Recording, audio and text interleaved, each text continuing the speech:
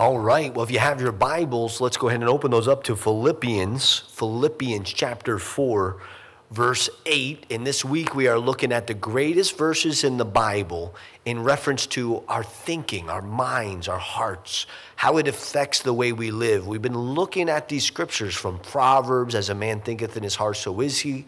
Jesus said, Love the Lord your God with all your heart, soul, mind, and strength. We looked at Paul saying, don't be conformed to the patterns of this world, but be transformed by the renewing of your mind. And, and then Paul in 2 Corinthians chapter 10 saying, Take every thought captive you have to take it down. There has to be some force involved in this. You have a responsibility in this. And today, we're going to look at Philippians chapter 4, uh, verse 8. You know, I believe in winning the battle of the mind. You know, uh, it's an old sports phrase, but I love it. You know, the, the best defense is a good offense. The best defense is a good offense. And I'm going to tell you something.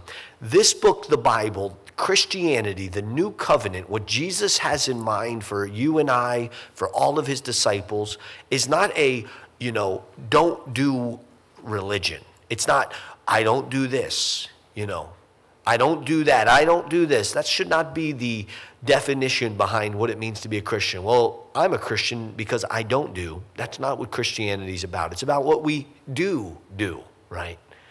It's not about no, no, no. It's about no, no, no. It's about learning.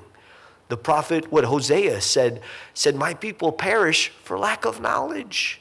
You know, they're talking about all this foolishness. Most of the Old Testament prophets were one prophet amongst many prophets, and they were the only one actually speaking the truth of God. So many of the other prophets, which the Old Testament calls false prophets, were speaking the wrong things.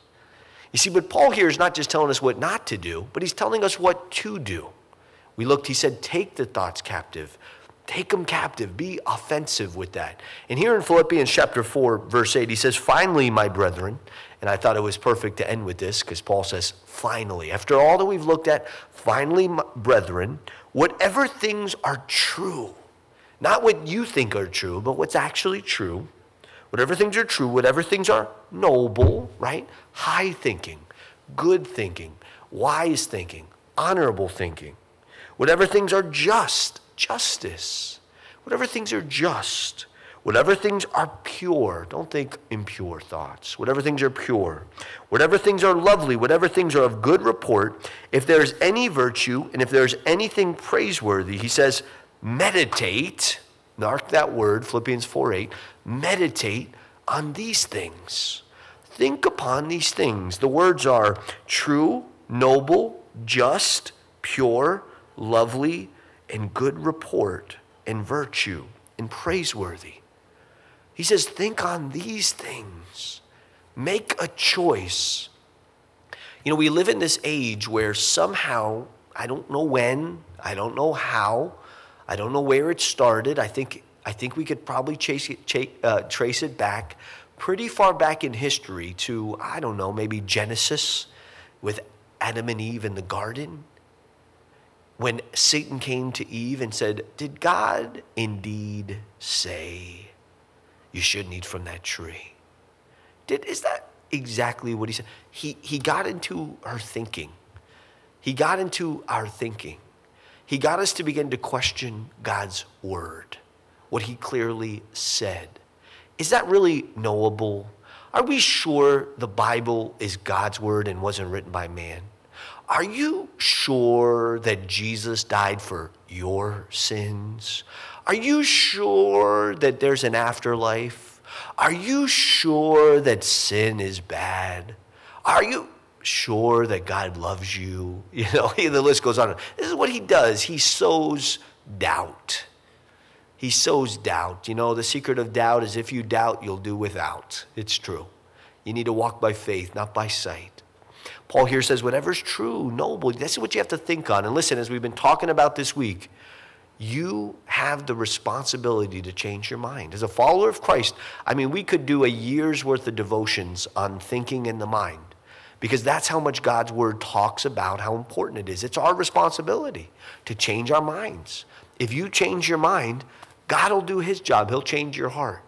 You can't change your heart. You know, all this trying, Lord, I'm going to change my heart. I'm going to change my heart. God says, You can't change your heart. You can't. I do that. That's my job. You're trying to be the Holy Spirit again.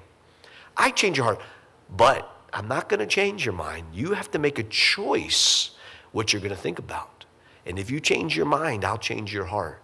You know, somewhere this idea got into man's mind that we have no control over what we think on.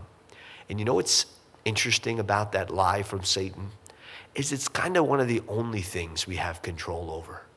A lot of the things that we think, man thinks, mankind thinks they have control over, it's laughable. It's laughable. God's in control of those things. He's the one holding it all together.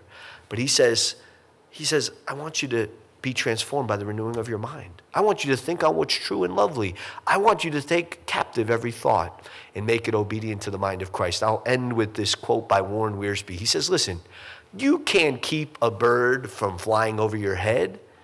You can't keep all these thoughts. You know, some people think, I'm going to get control of my mind, so I'm going to control everything around me. Can't do it. You can't keep a bird from flying over your head. He said, but you can keep it from making a nest in your hair. You can do that. You know, and are you keeping the lies of the enemy from nesting in your hair? Or are you feeding it? Are you feeding them? Putting little feathers and little sticks up there and fur and giving them little pieces of food, keeping them alive.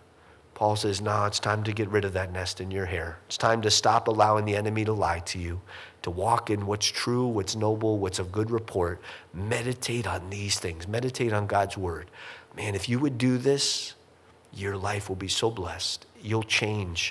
As Paul said in Acts 26, verse 2, when King Agrippa looked at him, couldn't figure out why he was so happy, even incarcerated, being brought before him almost as a spectacle. Paul says, I think myself happy, King Agrippa. Paul was even incarcerated, thinking on the things of the Lord.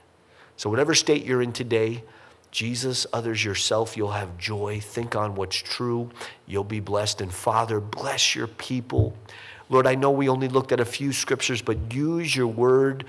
Holy Spirit, use your word in the lives of each one of your people to perform a spiritual surgery inside of them, to give them understanding, wisdom, knowledge, Lord, about taking their thoughts captive, about the mind and how it affects their lives. And won't you just bless them with these things today? Won't you bless them today in all these areas in Jesus' name? Amen.